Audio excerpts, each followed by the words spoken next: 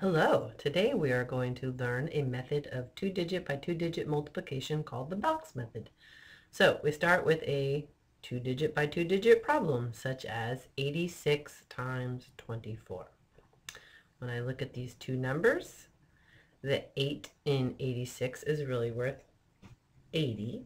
So I come over here, I've drawn this little rectangle, looks like a window frame, and I put my 80. The 6 in 86 is worth 6, so I place it here. 24 I can break down into 20 because the 2 is worth 20 and 4. Now all we have to do is multiply these four numbers together. So when I look here at 80 times 20, I can do the 8 times 2, which is 16, as a shortcut, and then add the two zeros on. And we get 1600. Down here, I have 20 times 6. I do the 2 times 6, which is 12, and then I add on the 0 as a shortcut.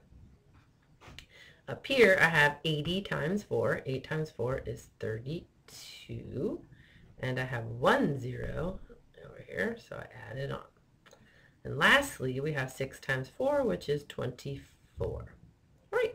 So now we have four partial products. The final step in this box method process process is to add the partial products.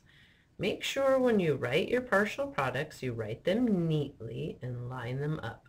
I see a lot of kids get problems wrong because they cannot read their own writing.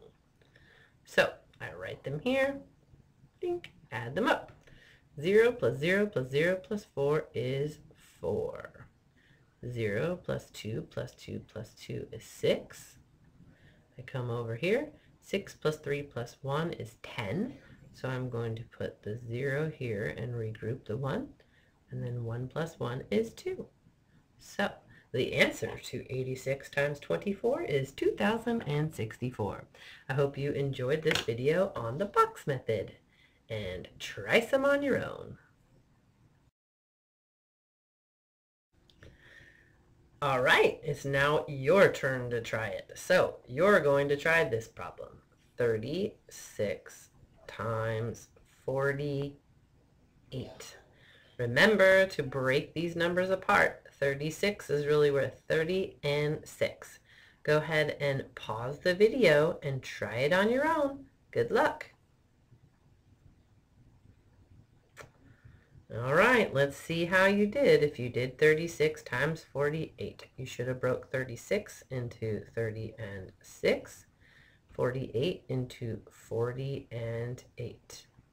You do your partial products, you would get a 1200 here, a 240 here, uh, 240 here, and a 48. These should be the four partial products you ended up with.